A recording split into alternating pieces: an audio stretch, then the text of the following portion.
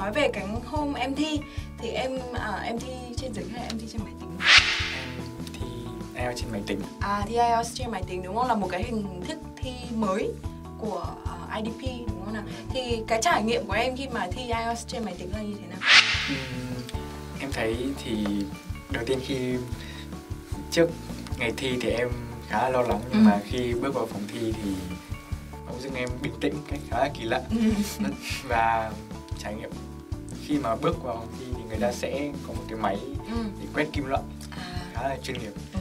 và có một cái em muốn nhắn tới các bạn nữ À, trước khi đi thi nữ. đó là các bạn nào mà để tóc quá dài thì nên mang theo chun À. bởi vì là khi mà bước vào phòng thi thì người ta sẽ chụp ảnh và bạn sẽ phải để lộ ra cả lông mày và tai như vậy thì nếu mà không mang chun thì sẽ khá là khó khăn và trong ngày thi của em thì có một bạn như thế và bạn ấy đã phải mất tới 10 15 phút mới có thể Chụp được một cái chụp được một ảnh và vào phòng thi.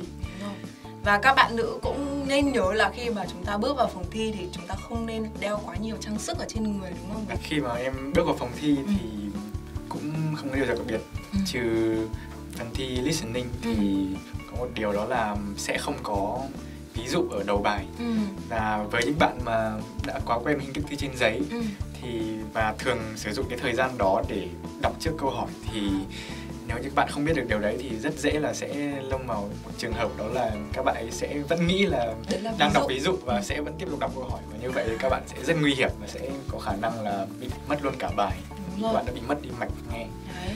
Thì đấy Và- là một cái điều lưu ý rất là lớn khi mà các bạn làm bài thi listening. Vâng và rất may là em đã đọc được cái kinh nghiệm đấy ở trên một cái group IELTS Ừ. ngay trước ngày thi một ngày thôi và nếu mà em không đọc điều đấy chắc là em vẫn sẽ nghĩ nó là ví dụ đúng không nào và mình bị miss hết câu câu trả lời luôn. nên là các bạn rất em rất là recommend các bạn là nên lân la trên các group IELTS À, đấy. có và rất một là nhiều kinh nghiệm và một cái group mà, mà chị nghĩ là Long cũng tham gia được đúng không? Đấy chính là cái group mà IELTS Fighter hỗ trợ học tập Đúng rồi, là một cái group mà chúng mình luôn luôn chia sẻ update những cái tình hình mới nhất về kỳ thi IELTS nên là các bạn hãy đừng quên nha, hãy join group của chúng mình ở trên Facebook nhé. Thì Quang thấy là cái uh, chia sẻ Quang hãy chia sẻ một chút về cái kỳ thi trên máy tính thì nó có khác gì so với kỳ thi thật hoặc là có những điều gì về cái kỳ thi này mà Quang muốn lưu ý đến với những bạn mà đang học và đang chuẩn bị thi IELTS không? Ờ, mình thấy thi máy tính thì khá là tiện lợi vì mình có rất nhiều thời gian để đăng ký thi liền uh, từ thứ ba. Mỗi ngày mỗi ngày một ờ, một lần thi. Nghĩa là mình có nhiều lựa chọn hơn. chính xác. Giữa tuần từ thứ ba đến thứ sáu. Tuần một tuần 4 buổi thì bạn có thể lựa chọn được. Ngoài ra thì ờ, thi máy tính ý, thì rất là tiện lợi. Vì mình là người dùng máy tính thường xuyên và chữ mình cũng không được đẹp lắm.